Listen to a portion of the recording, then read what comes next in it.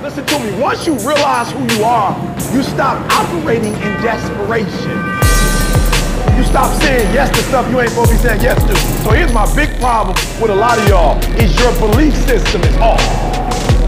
Like, everybody can see how sweet you are. People are commenting on, you can do this and you can do that, and you the only one ain't caught up with it yet. Gee, why you always on beast mode? I'm stopped, more people are on beast mode. There are people who live from 10 it's the weirdest thing to me. I'm like, boo, you broke. And you broke on several levels. we not talking about Sallie Mae. You still your grandma. We're talking about you need to cash your grandma out.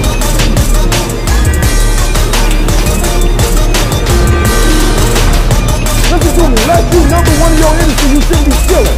And if you number one in your industry, you got enough common sense to know you better not be chilling. Every single day of my life, I feel like giving a hundred. Every single day, somebody says yes.